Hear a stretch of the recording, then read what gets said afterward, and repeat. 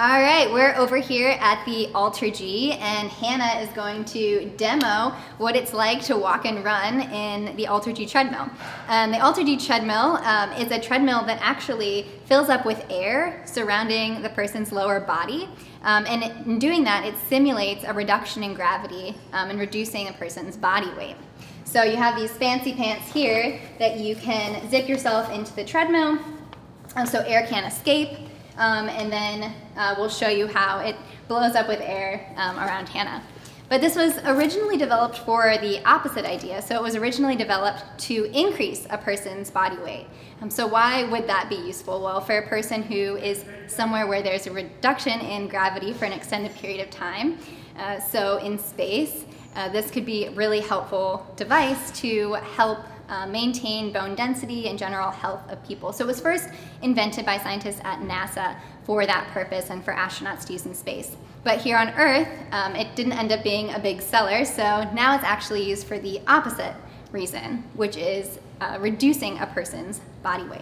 So that's really helpful for athletes who are recovering from an injury and want to start running again, uh, but may um, want to start out with a lower body weight so they can just kind of get back into um, exercising and running again gradually and gradually increase uh, the body weight that they're applying to their bones and joints when running.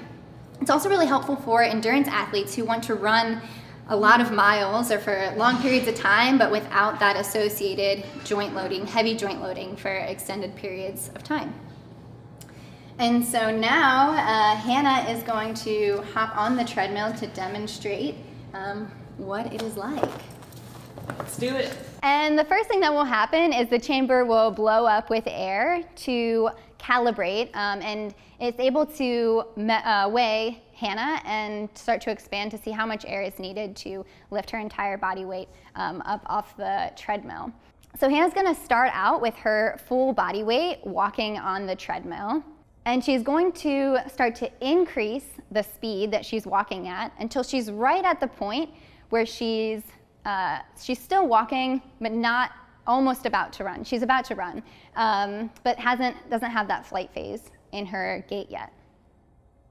And so as we now start to decrease the body weight of her um, on the treadmill, what will happen um, to her gait as her body weight decreases? So to think about that, we can think of Froude's number and the, the Froude equation, which is uh, v squared over gl. And so we're reducing g in that equation, and as g decreases, the Froude number will increase. So what does that mean? Well, we know that walking is um, a Froude number that's less than one. Um, but as the, in, in uh, normal gravity setting, um, but as we're increasing the, group, the Froude number, that means the walk to run transition will actually happen sooner, so at a slower um, speed. So now you'll see Hannah is actually in running. You see that she's in a, a flight phase now, has a flight phase now. Well, thanks, Hannah.